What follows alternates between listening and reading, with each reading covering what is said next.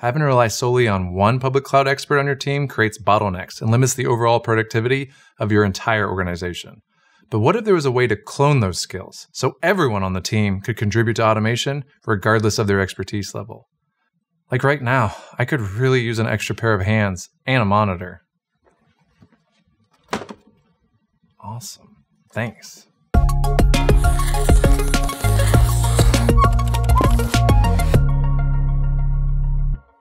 So when people start their automation journey, a lot of times there's really cool backgrounds of how these people get into automation. I often like to go back to like a, a proverb I heard, which is if you have a a boring or difficult task, give it to a lazy person. They'll always find interesting ways to solve it. And that's kind of my own automation journey. One of my first jobs out of university was doing very boring testing and it was very manually intensive. But once we had scripted this up, I had basically automated all the boring stuff so I could focus on new activities, new problems, new things. Now, one of the problems that happened was when I handed coworkers a bunch of Python scripts and Perl scripts, and they're not exactly very human readable or under, understandable. Coming back to that that particular team like a year later is that they had thrown away maybe 80% of what I had done and some of them had even gone back to doing stuff manually like clicking buttons in a vendor tool to test packet by packet. And then it just got, went unused. And that's what brought me to Ansible. Ansible is really easy for you to share and reuse automation. And that's a huge tenet of what we do today in making it easy to use and consume. So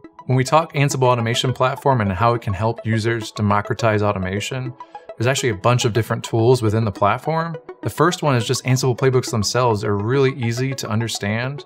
You can look at a playbook and it's almost self-documenting. Each task is a human readable task that you can understand and read and just literally understand like do this, then do this, then do that. And when you actually start taking advantage of platform components like Automation Controller, you can take these playbooks and these automation jobs and put them into easy, bite sized pieces that anyone can launch, anyone can perform, and you can add things like surveys or schedules to them so that it's really easy for anyone to take advantage of anyone else's playbook.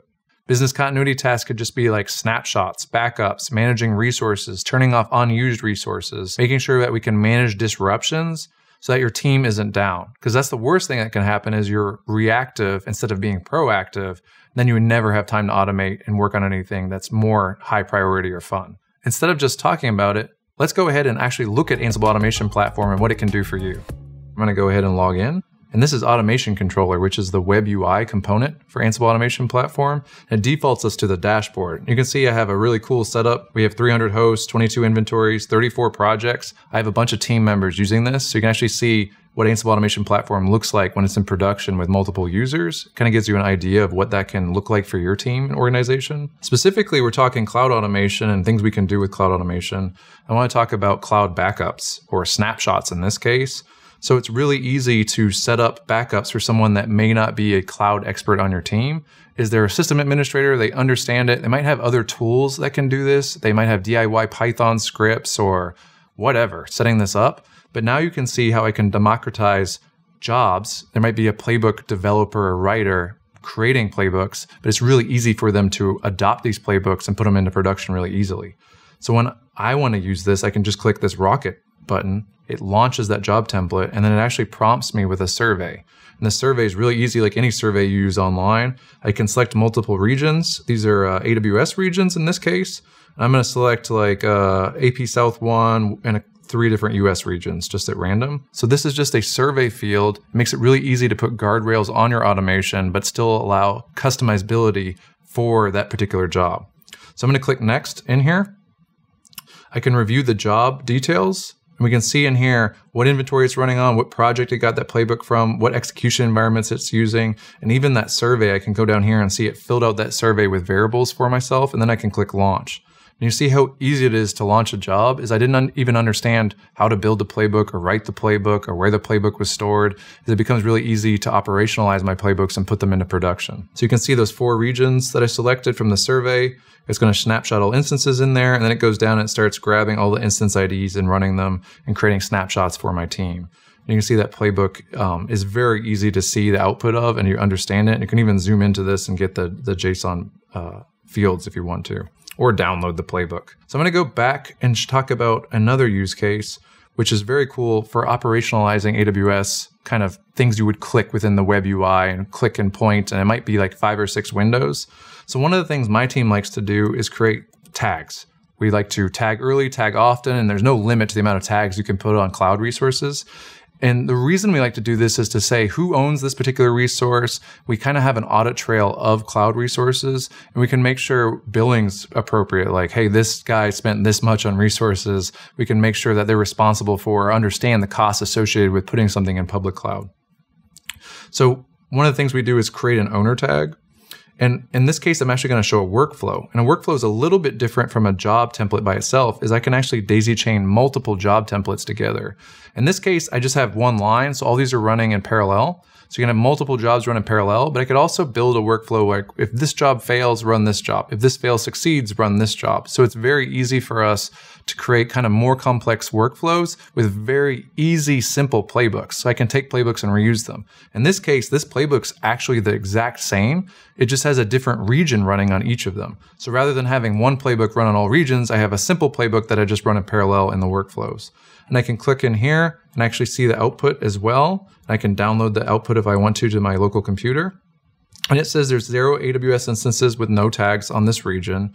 And it says there's there's nothing that breaks the rules. If it did, it would run this next task that it skipped, which it would turn them off, mark them, and can even have it notify me in Slack or ITSM tool like ServiceNow. I'm to go over to inventories now and show what public cloud inventories can look like. So I can jump into the inventory. I'm to look at sources. So I can actually combine multiple public clouds into a single source and then run playbooks on them. So even if I had RHEL 8 and RHEL 9 servers running in Azure and Google Cloud and AWS, I can run the same playbook on all of them simultaneously. In this case, I just want to look at the AWS source to see what one of them would look like. I'm going to click edit. And you see, I just need to assign it a credential, same credentials you would use for any tool that's talking to public cloud. And then I'm in this case, I'm just filtering by a region and I'm grabbing some key value pairs from the region so that they show up into Ansible Automation Platform and really easy to understand.